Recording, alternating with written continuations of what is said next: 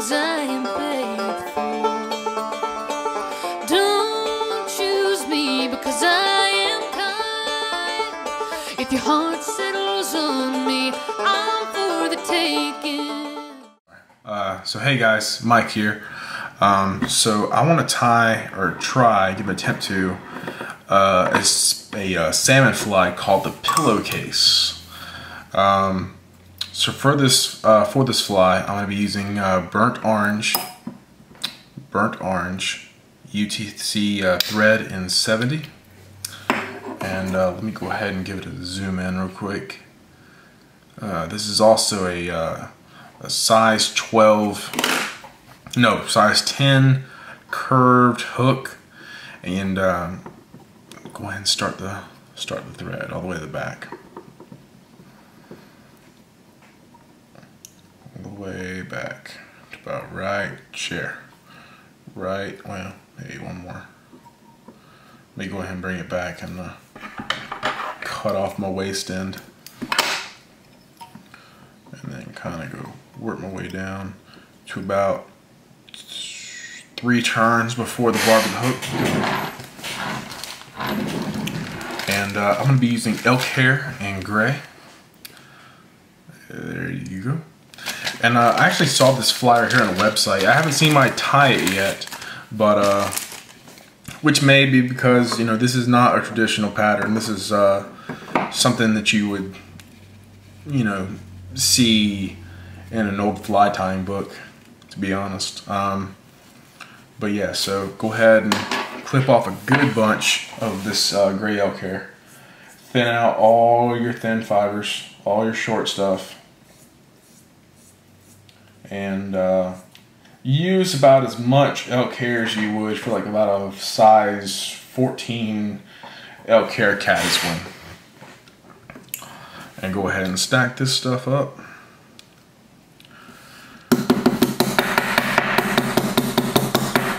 Makes everything shake when you do that. Like what do. Okay. There we go. Perfect.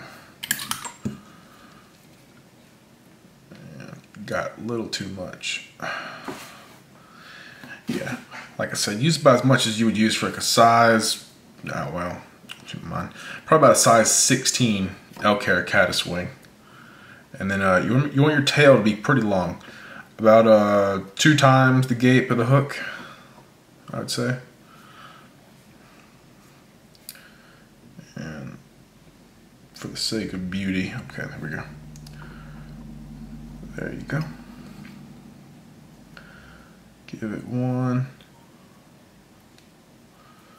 one loose turn, and then uh, my thread's not quite tight enough to really spray this, splay this stuff out as much as I'd like. Okay, there we go. See how it really splays out now?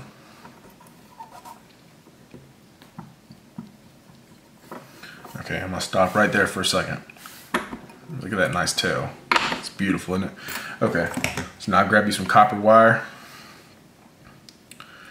and uh, go ahead and give yourself a generous waste amount. Just helps later on. And then uh, go ahead and get a, for this fly right here, well I've done this two ways actually. So this is a, uh, this is a whiting, back the camera ups on. Okay, so this is a high and dry hackle from Whiting, and this is uh, one of their traditional Whiting patterns. This is in brown. Uh, I've used this stuff right here before, but uh, and also another really cool look that gives this fly is this. Uh, uh, it's a Hebert Miner rooster saddle, uh, pro grade, and this stuff right here gives it a great look. As a matter of fact, um, let me see. Hmm. No, I'm gonna do the I'm gonna do the brown just for to be traditional. So go ahead and for this fly right here, even though it's, I'm, I'm tying this fly right here in a size 10, you're gonna get about a, uh, let's say about a 16 size hackle. Yeah, perfect.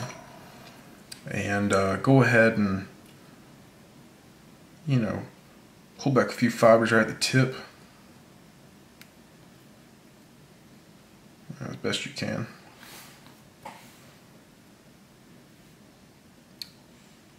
Yeah, too fragile, you know.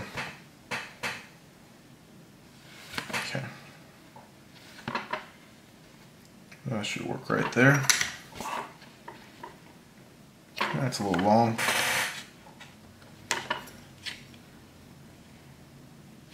Perfect.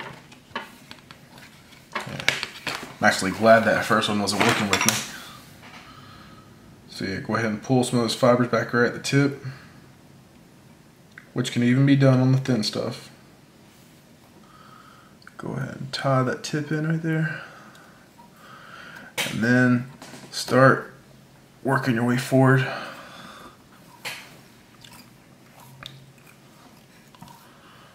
Applying good tension, working that hair forward. Make sure you're, touching turns. If you miss one, kind of tuck it back in or break it off. Okay. Now this right here, it's kind of a spin on a stimulator. It's a uh, the, the the sofa pillow, as it's called, is uh, or orange pillow is a uh, salmon fly, but I'm wanting to kind of add it into my uh, my my trout box this year. Try to use it as a uh, as a tractor pattern, but most of all, I would like to use this right here as a uh, strike indicator. It's just got so much fluff on it that um make it would make a, a really good strike indicator. And then once you get about, you can almost see where I am. And just keep stroking those fibers back. And if you want to, too, uh, I'm not a big fan of it, but you can kind of make big wraps to get about the point where you want to tie off and then go back and then tidy things up. Oops.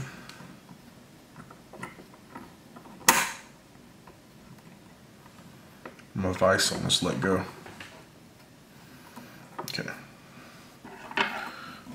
pull all this stuff right here back and everything and just clip it off. And then I'm gonna put my my uh, everything into the uh, into the material holder. Zoom back in, and I'm gonna take I'm gonna use the Norvise to kind of build the body. Uh, I could use this uh, Danville's floss in orange. But you know what? I actually found out this is, you know, just a much easier way to make a body.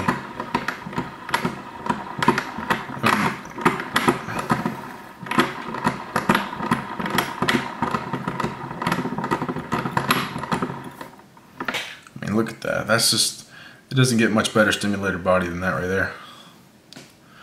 So then I'm going to come on with in here with my hackle.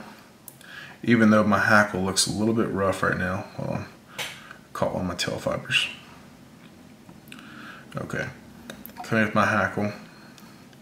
This rough looking hackle because uh, well got kind of caught up right there. Okay.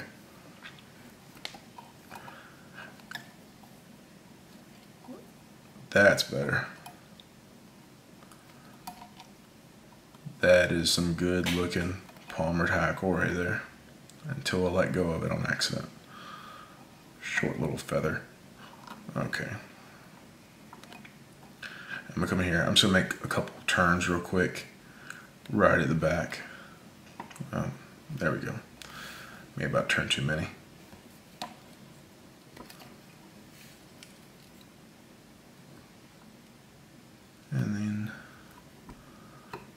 Just finish everything off.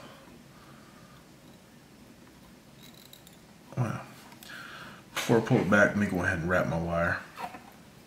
I might counter wrap my wire.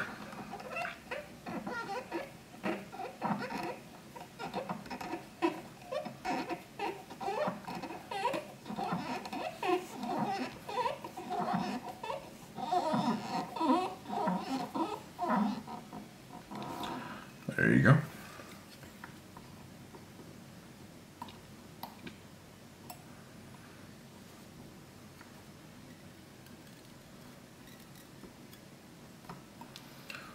That hackle back, just as if you were finishing the fly off.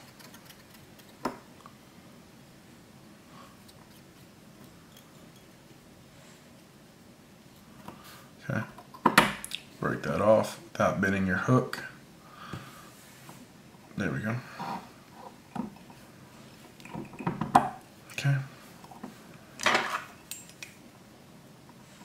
Okay. Now to your wing. Even my Renzetti, the Renzetti Magnum has a hard time handling that much hair. Okay, here we go.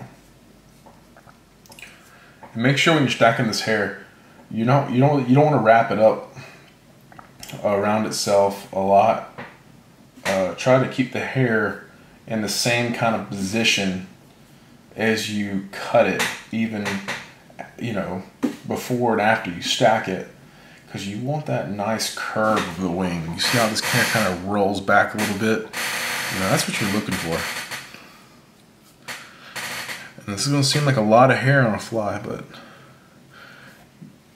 that should work right there. Go ahead and I'm just gonna pull out all these loose ends. It's kind of, it's really hard when you're trying to thin this hair out of all the bad fibers.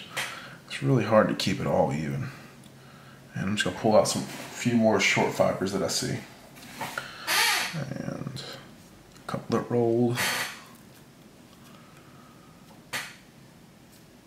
Yeah, right there, just before the end of the tail.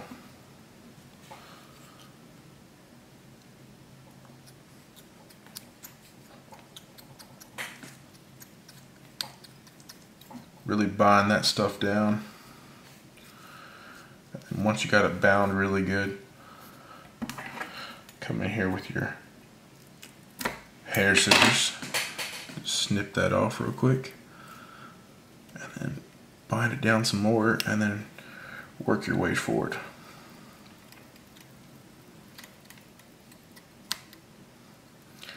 And then you see how I didn't go all the way back on the wing I mean, I didn't go all the way back with my thread wraps on the wing.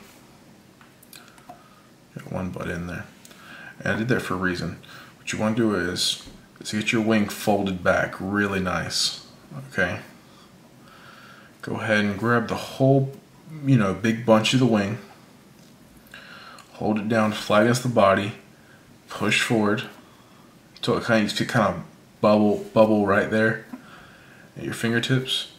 And then kind of make a couple really loose wraps right there.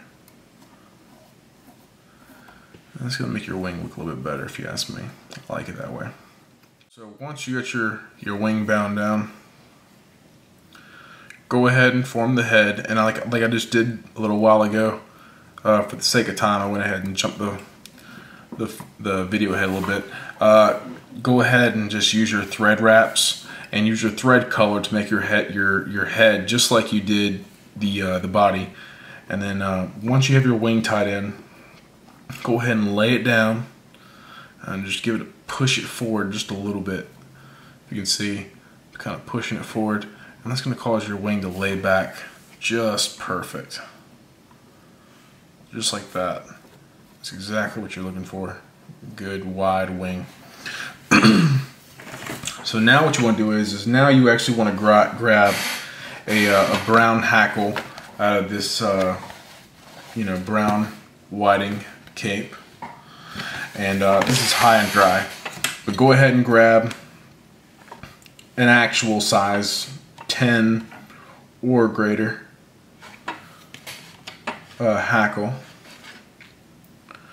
And don't worry about, about forming the body on that head too much because the the head on this fly right here is supposed to be very hot, you know, heavily hackled.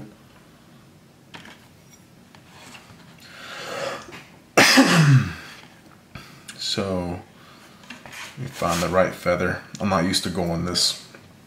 I'm not used to going to on this uh, cape right here, uh, picking out feathers that are that heavy.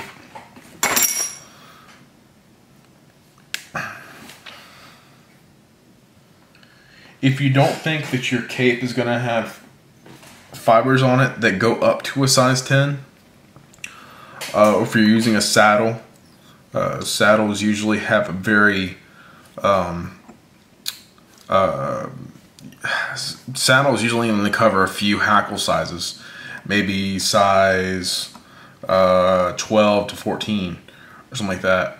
Uh, just make sure you use a hackle on the um, on the on the head of this fly or the collar. Make sure you use a hackle that's at least two sizes bigger than the one used for the body. And that's about it right there. I'm gonna he I heavily hackle the fly, the, the head of the fly, uh, almost like you would a sage or sedge, not sage, a sedge or something like that. There you go. Cool. And no rib needed. I'm gonna put enough head cement on this fly to really make everything settle down.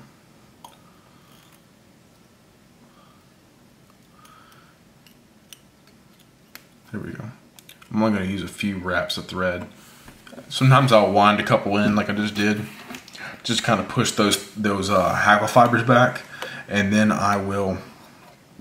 Then I'll uh, you know wind backwards and undo those wraps, and then I'll make my whip finish. So one, two, three, four, five.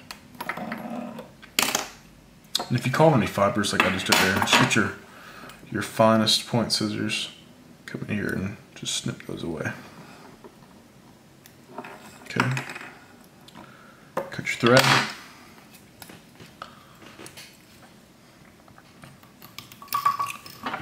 Post it up and then uh, go ahead and snip off that last piece of uh, hackle, tag end, waste end.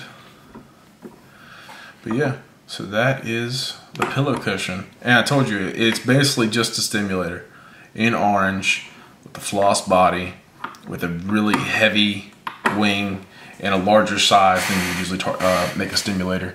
Uh, hold on, I got a stimulator right here I can show you. It's in the mouth of a fish I caught you know that's that's your normal stimulator. If you can see it's a little bit smaller. The wings not quite as heavy. Yeah. And then next to the pillow cushion which like I said all it is is a uh, salmon size version of a stimulator. Pass around the backwood tobacco